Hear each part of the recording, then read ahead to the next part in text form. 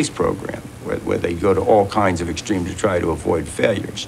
Because we wanted this thing to work. If we built this huge thing and it didn't work, it would just set back progress instead of setting it forward.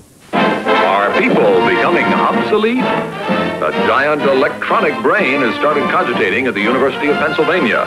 It's made of vacuum tubes, like your radio, and it can add up a column of figures a yard long in a second. It's the world's first electronic computer. Right now, it's solving mathematical problems for the U.S. Army, but who knows? Someday a machine like this may check up on your income tax. It had taken three years to build the machine they called ENIAC for Electronic Numerical Integrator and Computer. It filled a room 50 feet by 30 feet. As well as its 18,000 electronic valves, it had tens of thousands of electrical components and half a million soldered joints. And it could perform 5,000 additions every second. ENIAC created myths. Every fictional computer thereafter would have flashing lights, but these bright lights made of half ping-pong balls were specially fitted for the publicity film. Arthur Burks, a member of the engineering team, masterminded the machine's debut. In the public demonstration of the ENIAC, we computed the trajectory of a shell that took 30 seconds to reach its target. ENIAC computed the trajectory in only 20 seconds faster than the shell itself traveled. ENIAC was seen as a triumph by its army sponsors, even though it was too late to help win the war. It mattered that the ENIAC wasn't done before the end of the war in some sense, because it would have helped to have done a lot of other things with it. But uh, it was its great importance lay in starting the computer revolution anyway, and not in doing firing and bombing tables. So in a sense, it didn't matter when it got done.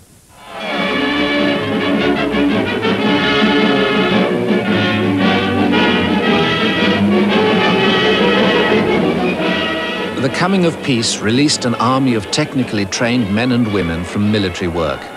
The skills they had used on wartime projects like radar could now be turned to this new field of electronic engineering, computer development. Great progress had been made, but there was one major hurdle still to be overcome. The Moore School had laid the groundwork. ENIAC's remarkable speed had convinced people of the value of electronic computing. But much of that advantage was lost when the program had to be changed. There were no manuals at all in those days. They had not yet been written. Some excellent ones were written later, but at that time there was nothing. There was nothing available to us at all except the wiring diagrams of each unit. So some of the professors at Penn helped us to learn how to even read the wiring diagrams. And we learned how each accumulator worked from the back, how the multiplier worked, what each tube did. These switches that we turned in the front of the machine would then activate or deactivate the various tubes in the back. Computer programming in 1946 involved setting up to 6,000 switches and then replugging the hundreds of cables connecting different parts of the machine. It was like rebuilding it for each new task. Eckert had been well aware that this needed to change. By the time I had, we had frozen the, uh, the design, uh, we were all completely dissatisfied with it. We had thought of better ways of doing everything that we were doing in it. But here again, the philosophy of it, you're not going to make any progress if you don't stop fooling around and don't get on with the show, had to take precedence. ENIAC worked by manipulating a stream of electronic pulses. So does the modern desktop computer. But in this machine, the instructions too are written in electronic pulses, which can be stored on a disk.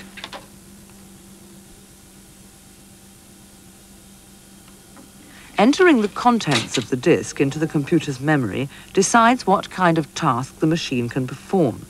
So, a new disk changes it from an accountant to a chess player. Or, in a matter of seconds, it can become a mathematician.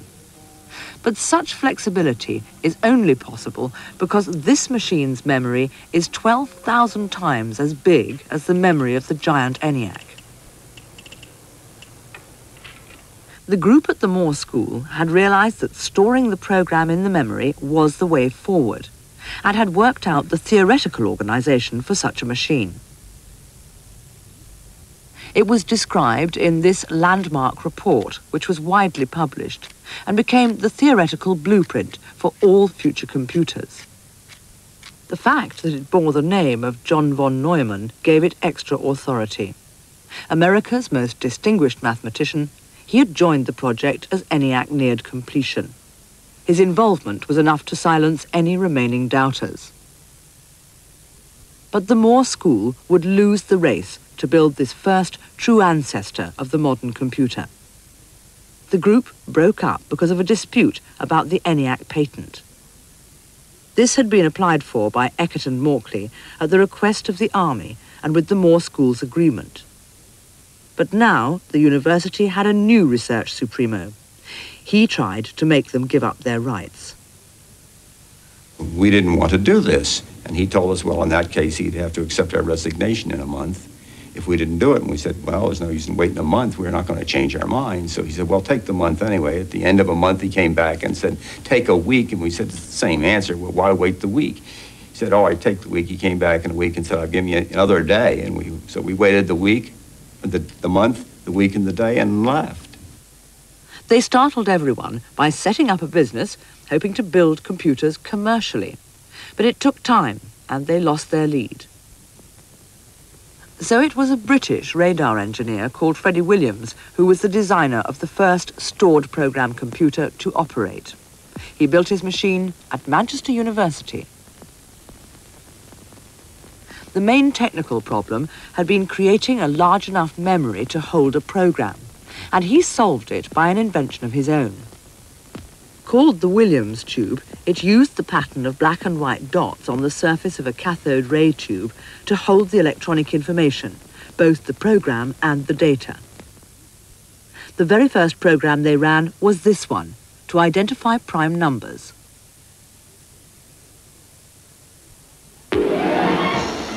Manchester University, where anyone who urgently wishes to know whether 2 to the power of 127 minus 1 is a prime number or not, can be given the answer by an electronic brain in 25 minutes instead of by a human brain in six months. Impressed by the speed of the machine, the average man was still skeptical about its general usefulness. Just who would want to use these marvels? And what would they use them for? And how easy would they be to operate? The computer itself contains 1,500 valves. The brain at present is only in the experimental stage, the answer being read from a cathode ray tube. Later, an automatic keyboard will type the answer.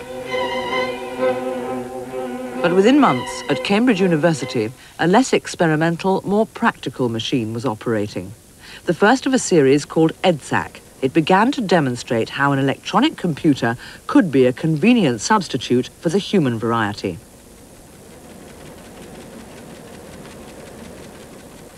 When we were building the machine, people didn't know very much about it, and I think they thought we were perhaps a little crazy. As soon as the thing began to work, we invited uh, people from other departments to come in and try their hand, in particular graduate students. The graduate students managed to get useful results. They showed them to their research supervisors, and their research supervisors then began to say computers were important. And after a few years, it was everybody in the university was saying computers are important. Programs for the Cambridge machine were written out using a simple code. They were converted to punched tape and then fed into the machine. Scientists from many disciplines soon learned how to prepare programs. These massive number crunchers were so fast that one such machine could do the work of 10,000 human computers with calculators. One physicist worked out that three such machines could do all the scientific computing needed in Britain. But as scientists became familiar with the machine, they discovered that it opened new possibilities. The availability of computers was essential to the development of new sciences, like radio astronomy, which generated masses of data. And in many other branches of science, now huge calculations could be done at speed, the impossible became possible. Soon it was realized there would never be enough computing capacity. The scientists were interested in the computer mainly as a tool to widen their horizons. But newspaper headline writers wanted to believe there was more to these machines than that.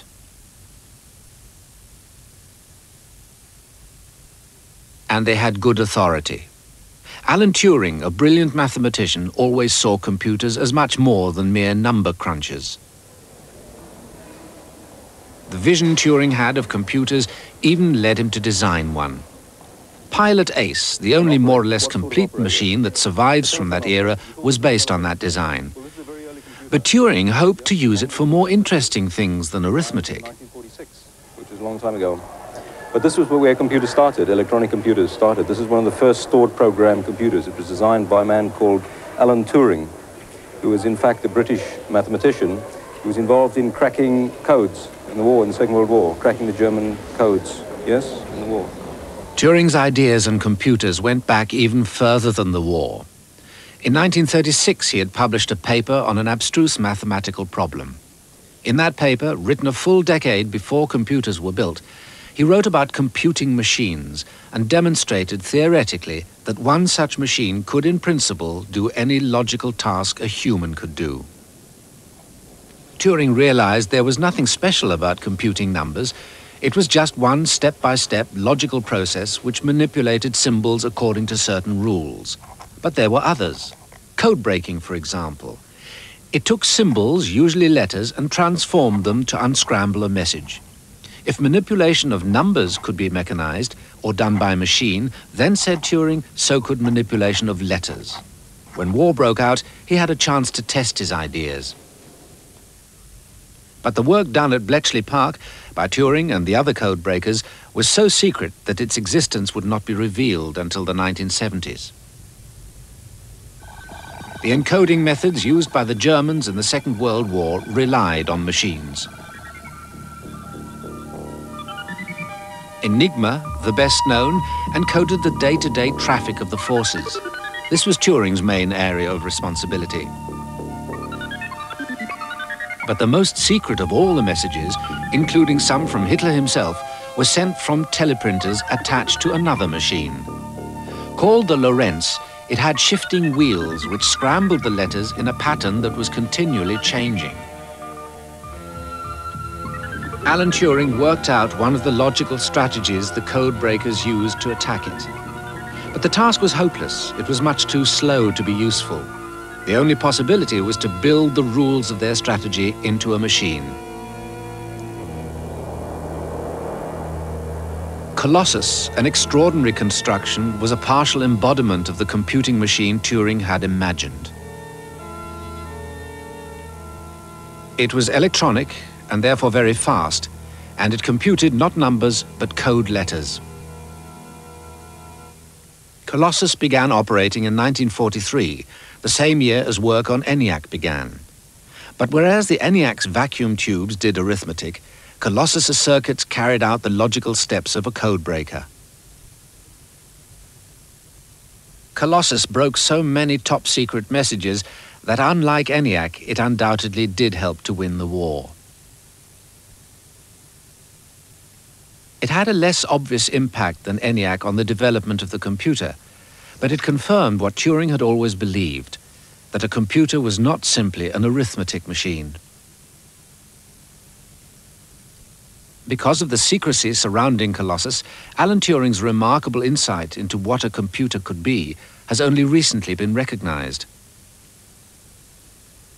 A celebrated stage play, Breaking the Code, used Turing's words and writings to capture the personality and mannerisms of a brilliant eccentric who was simply years ahead of his time. What we call a program. The computer programs don't necessarily have to have anything at all to do with numbers. A colleague of mine has got our computer to hum tunes. In fact, it once sang jingle bells. even got it to write love letters. So, doing calculations, humming a tune, writing love letters, all very different tasks.